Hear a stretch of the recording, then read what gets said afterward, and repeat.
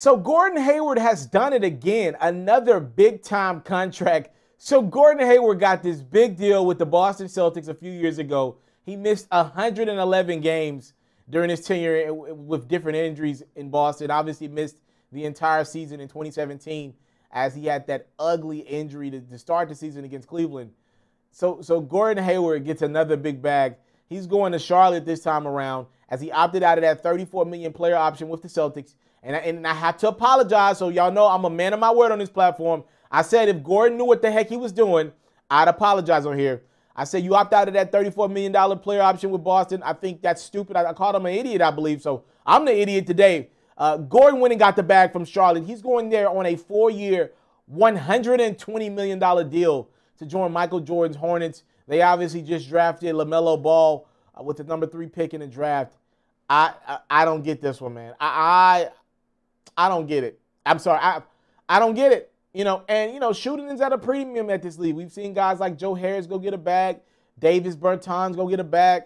I get it, but man, thirty million dollars a year for a guy that, again, he's missed 111 uh, games since 2017. He has not been available for Boston more times than not. As a matter of fact, he wasn't even available for them this postseason run for the bulk of it. I mean, heck, the dude barely was at. He almost missed the end of that Boston postseason run because of the birth of his child. I commend that brother on staying because of that.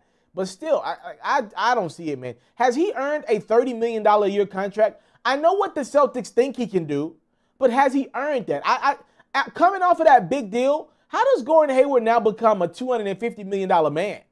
You know, I I, I don't get it, man. I, I that's that's too much money, man. And Michael Jordan has made look, man, and I want to go even further in this one, right? I, this one really bothers me, not because of Michael Jordan just paying Gordon Hayward, but it's, it was so much controversy made over Michael Jordan's decision to, to let Kemba Walker walk. And you know what? Kemba wasn't great for Boston this year. He wasn't great, especially in the playoffs. He struggled. I think he was dealing with some injuries. But you know, and I was one of the guys that said, you know, Michael Jordan maybe made the right move. He didn't think he didn't think Kemba Walker was that guy. He didn't want to pay Kemba Walker max money, 200 some million dollars. But instead of paying Kemba, you let him walk an all-star in our league, which Gordon Hayward has not been uh, in the last few years. You you don't pay Kemba, you let him walk. You flip him out with Terry Rozier. I understand it. You, you, you're getting the most bang for your buck. He hasn't been good, by the way. Actually, Devonte Graham has been a lot better than Rozier. Okay, you got Devonte Graham. You draft LaMelo Ball. You're trying to put some butts in the seats. You think Gordon Hayward's going to do it? You swapped out Gordon Hayward for Kemba? You you you like like you you'd be better off taking Kemba. You'd be better off with Kemba, and he'll he'll bring more fans out.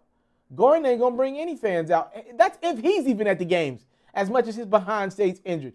Four years, 120 million, Mike, for Gordon. That that that ain't it, man. And what baffles me, you're looking up and down that that that Charlotte roster. Michael Jordan has a habit of signing guys who I know for a fact, if he were a player, he would have hated to play with. Nicolas Batum, $27 million this year. They're, speaking of Nicolas, they're going to waive and stretch his contract.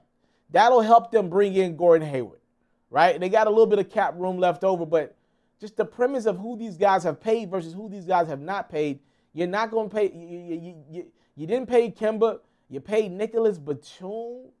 You know, you, you play. What are you doing, man? What are you What are you doing in Charlotte? I'm just confused by the decisions that that that, that, that you know they paid. What did they pay? Cody Zeller.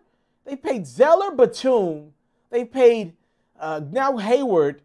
Rozier a decent amount. I, I, don't get it, man. I wouldn't have paid any of those guys the money that they did. I I don't get it, Mike. I'm sorry. You're the greatest of all time to me, but you might be the woke the worst of all time when it comes to this executive side. And whoever you're hiring, they're not doing a good job. Nobody's doing a good job in Charlotte. You guys suck. That that's bad, man. And that that Hornets fan base, they deserve better. Y'all complain about them not supporting y'all at the games. Look at the product that y'all giving them. Look at the product.